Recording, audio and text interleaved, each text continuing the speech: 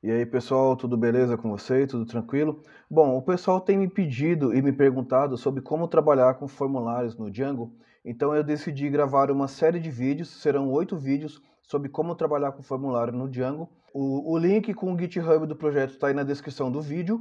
E hoje, nessa primeira aula, nós veremos como criar um formulário manualmente usando o HTML e os comandos do Django.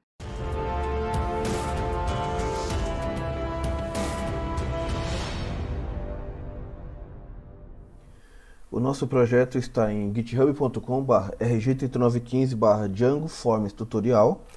E aqui tem as instruções de como rodar ele na sua máquina, no seu computador local. E aqui tem algumas telas de preview, só que eu vou seguir o passo a passo. Então, nesse primeiro vídeo, a gente vai criar, tem aqui o, o Twitter que eu tinha colocado, né? De fazer vários formulários, existem várias maneiras de fazer um formulário.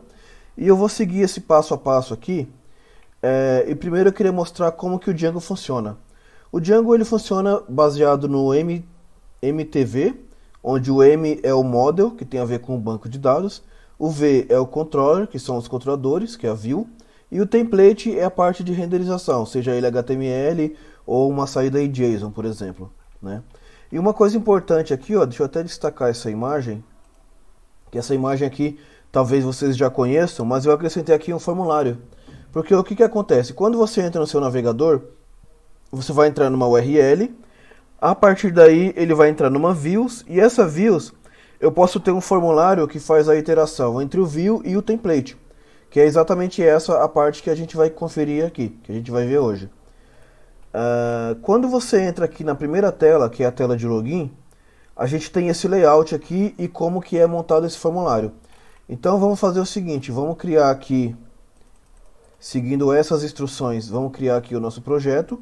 Estou usando aqui um boilerplate.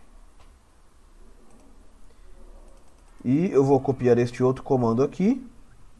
E por fim, source boilerplate. Vai usar a versão mais recente do Django, que é 3.2. alguma coisa.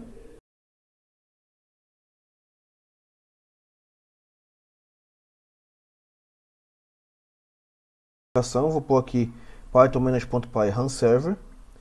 E quando eu entrar aqui pelo painel de admin, por exemplo, nós já temos essa primeira tela aqui que é um formulário. Se eu clicar com o botão direito e pedir para inspecionar esse formulário, a gente vai ver aqui ó, que nós temos uma div, content, e dentro dela tem uma outra div, e aqui nós temos o formulário. Ó. Então, form, id, action, method, post. Daí temos aqui uma div, onde nós temos uma label, que é obrigatória, for id username com o nome usuário. E aqui um input chamado id username com type text e o name username com autofocus. E aqui também temos o password.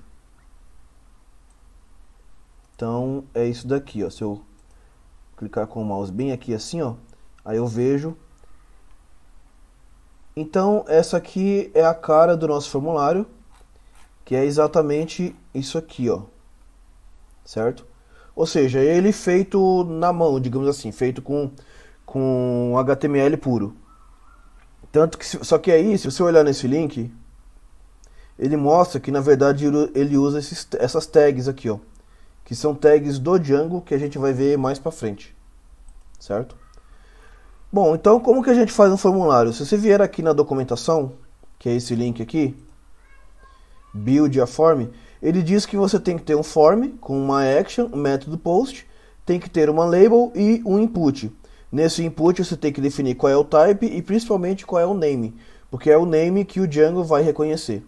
E aqui no final você tem um botão do tipo submit com o valor OK, que é o botãozinho de OK ali da tela, né? Uh, bom, então vamos fazer o seguinte, eu vou continuar aqui com o meu passo a passo, aqui do lado, isso aqui eu não preciso mais. E vamos vir aqui no nosso projeto. Deixa eu abrir aqui o Sublime, meu editor de texto.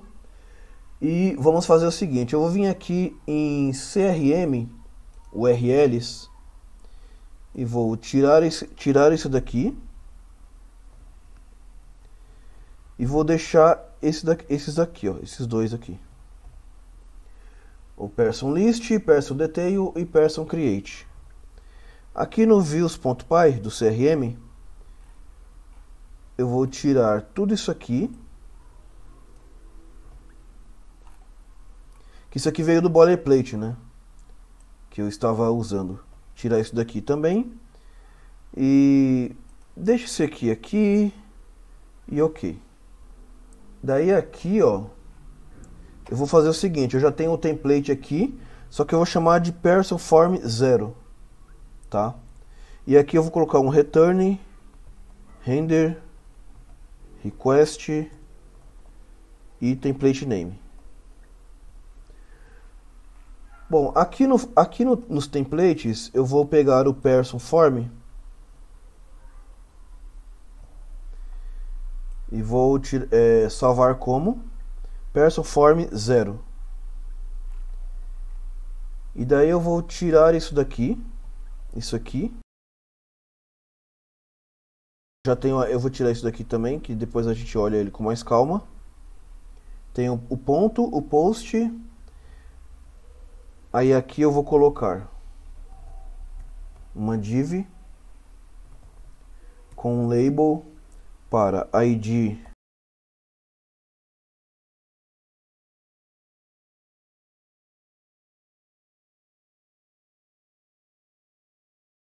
E aí eu repito aqui e faço o mesmo para uh, last name.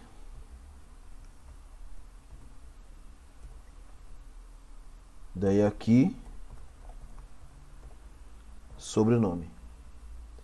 Aqui o botão salvar e ok, deixa eu ver se está faltando mais alguma classe aqui. Tá, aqui eu vou definir um bloco CSS. Deixa eu só ver se eu tenho um CSS aqui no meu Base. Template, base.html. Ah, tem um CSS definido aqui, ok. Então aqui eu vou fazer um, um style. E vou colocar um required, dois pontos, after que é quando o meu campo for obrigatório, eu vou colocar um content com um asterisco e um color red. O que mais que eu preciso? Aqui o class form group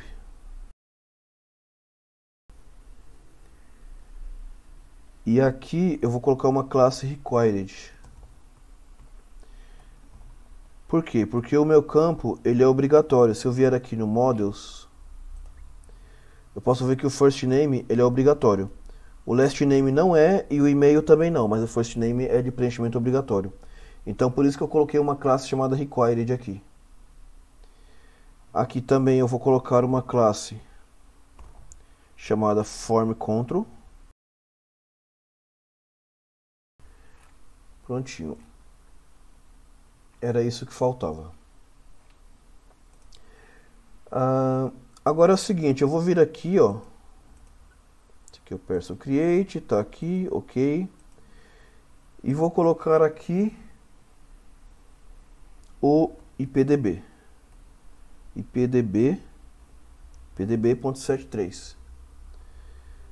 Se eu rodar a aplicação aqui, deixa eu só eu vou ter que fazer um python manage.py make migrations por causa do do CRM e depois migrate porque o CRM não tinha feito isso ainda. Quando eu rodar aqui o run server e eu rodar a aplicação aqui localhost 8000 deixa eu só colocar aqui no formulário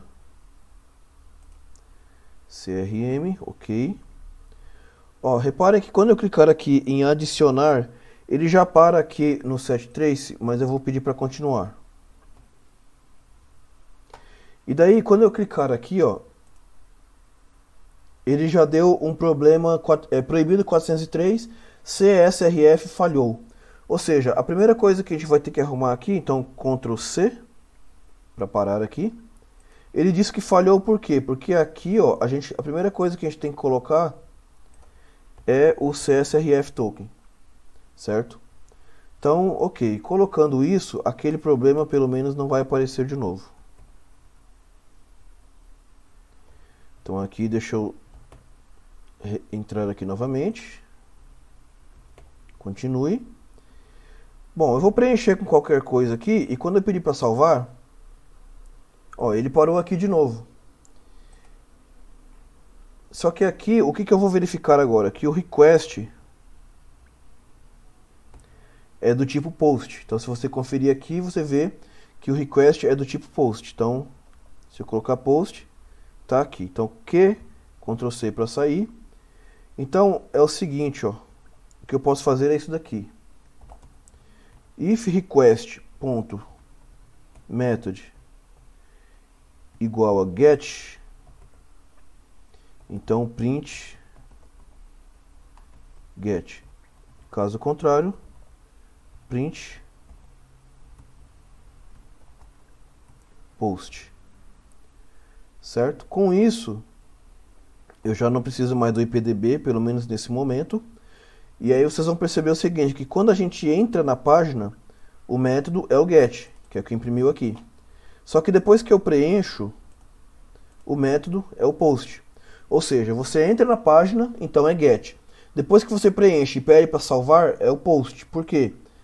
Porque aqui é o método post. Então, quando eu clico aqui, ele reconhece que é o post. Com isso, a gente consegue fazer o seguinte, ó. Aqui eu consigo fazer first name ah, peraí, deixa eu colocar mais uma coisinha aqui do IPDB. O IPDB a gente usa bastante nessas horas. Tá aqui, ok. Quando eu preencher aqui, eu caí no método post e vou fazer o seguinte, request.post,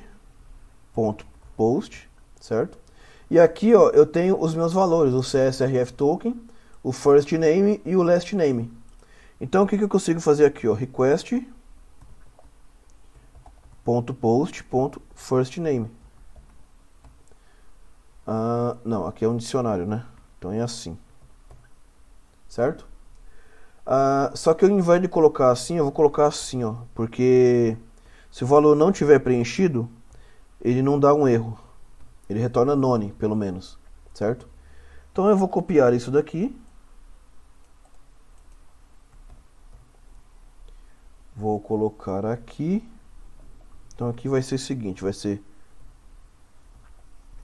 first name igual a isso aqui, o last name também igual isso daqui. E daí eu consigo fazer o print do first name e do last name. Então, vejamos. Ok, vou preencher aqui e... Olha lá, ele imprimiu para mim o nome Amaya Schwartz, que é um nome aleatório que eu preenchi aqui. Com isso, eu consigo fazer isso daqui, ó. person.objects.create first name igual a first name e last name igual a last name. Vamos ver se ele vai salvar?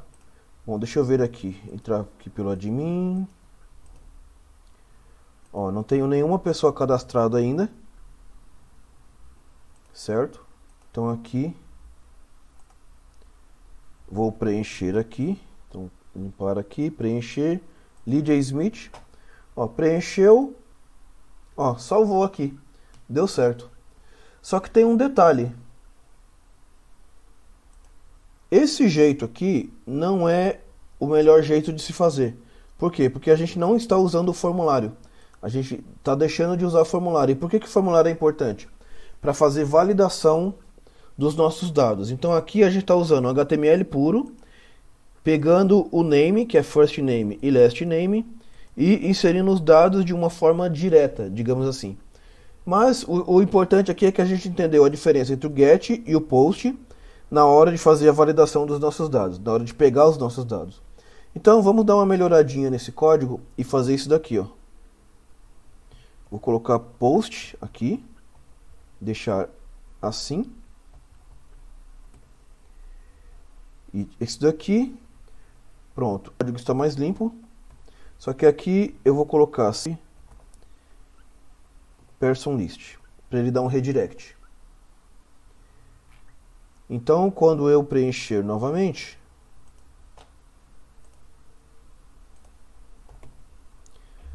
vou preencher aqui, Clayton Knox, aí ele deu um redirect, só, ter, só precisa arrumar a minha página aqui, porque essa página de lista aqui está com umas URLs que veio do boilerplate e eu não estou usando ainda. Prontinho. Então está feita essa parte aí, está pronto. Só que como eu falei, né, a gente não usou o formulário ainda. E como que a gente usa formulário? A gente tem o HTML aqui, tem isso daqui que eu não preciso mais. É, eu vou fazer o seguinte, vou vir aqui em forms.py e vou tirar uma cópia disso aqui. Só que aqui eu vou chamar de person form 0. E aqui no meu class meta eu vou colocar o model person e o first name Vou colocar apenas dois campos, o first name e o last name. Apenas esses dois. Então se eu vier aqui em views, eu vou importar aqui em cima, person form 0. E aqui, ó, vem a parte que é muito utilizada e que é muito importante. Form igual a person form 0 e aí ponho request.post or none. Por que or none? Porque quando você entra no formulário, na, quando você entra na página, o formulário deve estar vazio, por isso que é or none. E aí quando você coloca o post, ele pega os dados para enviar para o método post para você. Daí você tira isso daqui e faz isso aqui, ó, if form. Agora sim eu estou usando o formulário para fazer a validação dos meus dados. Então, se ele for válido, form save. Uh, daí eu faço um return, redirect, que é isso daqui, na verdade.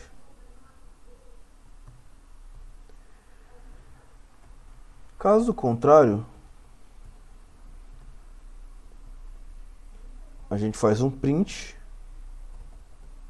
do forms.errors errors. E daí eu não preciso mais disso aqui, porque o formulário já está salvando.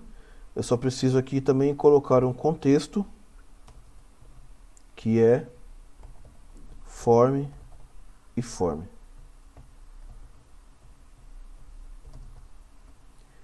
Pronto. Agora, para eu fazer isso daqui funcionar no meu formulário, é, o que eu quero fazer aqui é o seguinte: já estou fazendo a validação, já estou utilizando ele aqui.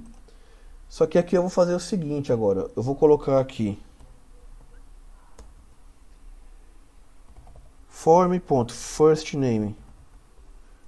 form.firstname.errors e aqui form.lastname.errors. E aqui eu vou definir mais uma classe que será errors list, onde o meu list style será none e o meu color será red. Com isso, quando eu preencher aqui, por exemplo, eu vou deixar o primeiro não preenchido. Vou colocar um A aqui. Aí ele já diz: este campo é obrigatório. E se eu colocar um texto muito longo, certifique-se de que o valor tenha no máximo 50 caracteres. Ele possui 113.